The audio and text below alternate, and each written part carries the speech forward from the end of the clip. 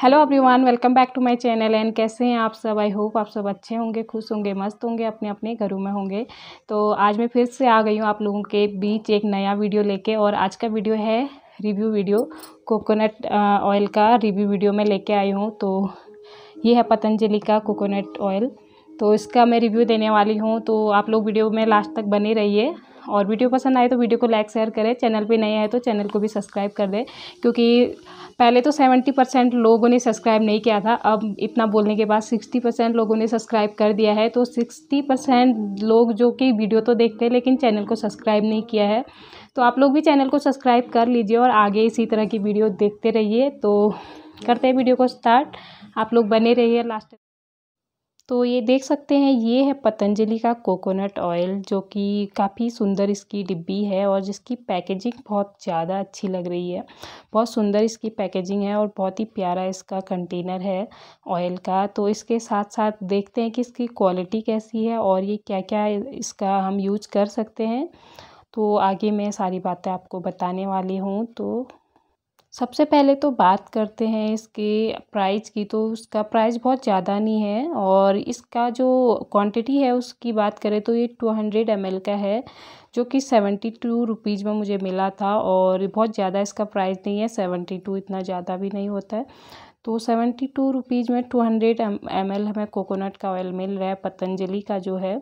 तो ये काफ़ी अच्छा ऑयल है, इसका हम बहुत सारा यूज़ कर सकते हैं, जैसे कि हम अपने हेयर्स के लिए बॉडी मसाज के लिए हम इसका यूज़ कर सकते हैं, बहुत ही बेनिफिशियल है। और ये देख सकते हैं, ये है इसके अंदर का जो ऑयल है, क्योंकि यहाँ पे थोड़ा ठंड है, आजकल बारिश है तो इस वजह से ये थोड़ा सा जम गया है, और देखिए कितना अच्छा लग रहा है, एकदम प्योर लग रहा है।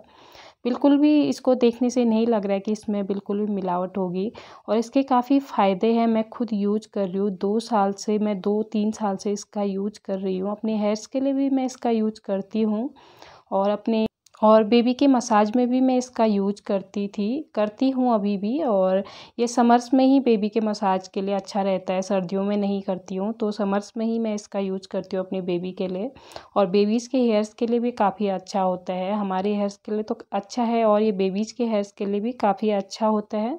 तो ये देख सकते हैं आप, मैंने इसको हाथ में लिया तो ये जैसे जमा हुआ था, जैसे हाथ में लिया तो एकदम से पिघल गया।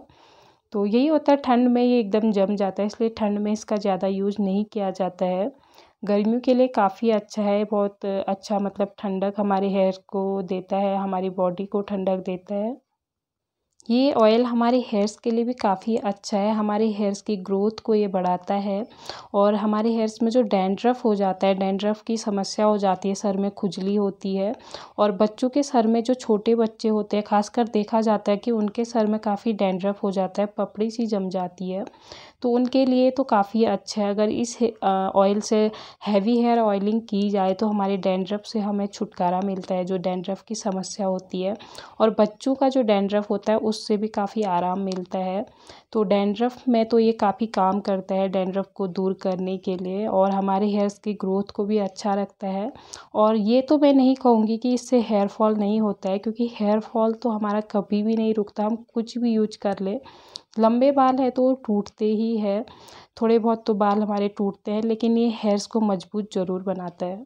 थोड़ा सा हेयर फॉल तो सबका होता है, जो कि आधे से बाल टूट जाते हैं, उसको तो वो इतनी बड़ी परेशानी नहीं है, जो जड़ से बाल निकलते हैं और वो वापस नहीं आते तो वो बड़ी परेशानी होती है। तो उस कंडीशन में ये ऑयल काफ़ी अच्छा है, क्योंकि ये जड़ से मज़बूत करता है बालों को, जिससे कि बाल जड़ से नहीं निकलते और आधे से जो बाल टूटते हैं, वो तो बढ़ ही जाते हैं, उसमें कोई समस्या नहीं है। तो ये काफ़ी अच्छा है हमारे हेयर्स के लिए तो ये काफ़ी अच्छा है। हेयर्स के साथ साथ इस ऑयल से हम अपने बॉडी को भी मसाज कर सकते हैं। उस और काफ़ी टाइम ऐसा होता है कि हमारी स्किन धूप से जल जाती है सनबर्न हमारी स्किन में हो जाता है तो उस कंडीशन में भी आप इसका यूज़ कर सकते हैं। जिस पार्ट में आपका सनबर्न है तो उतने एरिया में आप इसको अच्छे से इससे मसाज कर ले रात के टाइम पे, क्योंकि दिन में नहीं कर सकते। धूप में अगर इसको लगा के जाएँगे तो और ज़्यादा सनबर्न होगा। तो रात में अगर उस इस ऑयल से आप अच्छे से उस एरिया पर लगा लें अपने हाथ पैर, जितना भी आपका सनबर्न है तो इससे स्किन नॉर्मल होती है, क्योंकि मॉर्निंग में आप उसे साफ़ कर लेंगे बहुत अच्छे से तो उसके बाद कोई भी बॉडी लोशन आप लगा लीजिए तो उससे भी आपकी स्किन काफ़ी अच्छी हो जाएगी नॉर्मल हो जाएगी पहले की तरह, और जो सनबर्न होगा एकदम से हट जाएगा। तो ये इसमें भी काफ़ी फ़ायदेमंद है सनबर्न में भी। ये तो थी सन बर्न की बात और एक स्किन जो हमारी बर्न हो जाती है, जैसे आग से हमारा हाथ कहीं पे जल जा रहा है या दूध से जल जा रहा है, चाय से जल जा रहा है और नॉर्मली तो ये सब होते रहता है जो कि किचन में हम लोग काम करते हैं और एक बार मेरे बेबी के साथ भी हो गया था, गलती से उसके हाथ में दूध गिर गया था, गर्म दूध तो उसकी पाँचों उंगलियों में और उसका जो हथेली थी उसमें काफ़ी जल गया था। तो उस कंडीशन में मैंने नारियल के ऑयल का यूज़ किया था, उस टाइम पर मैंने सर्च किया था तो मुझे पता चला कि नारियल के ऑयल से जो घाव होता है, जो ताज़ा घाव, जो बच मतलब हमारे हाथ पैर जहाँ पे भी जलता है, वहाँ पे हो जाता है।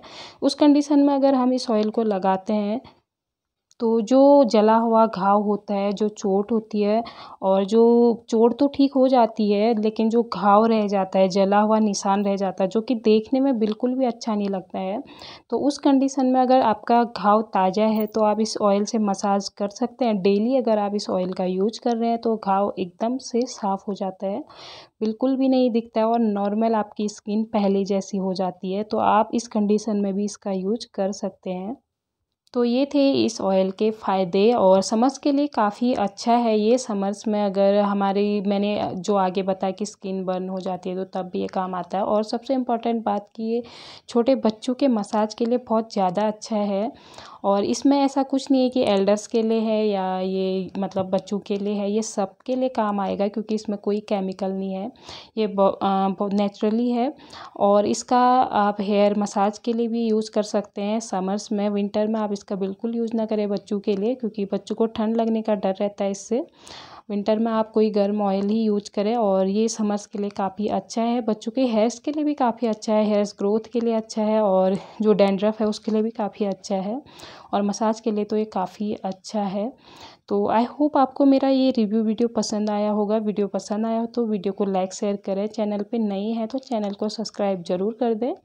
बेल आइकन ज़रूर दबा दें जिससे मेरी आने वाली वीडियो का नोटिफिकेशन आपके पास आते रहे। तो मैं मिलती हूँ आपसे अपनी नेक्स्ट वीडियो में। तब तक के लिए take care and bye bye friends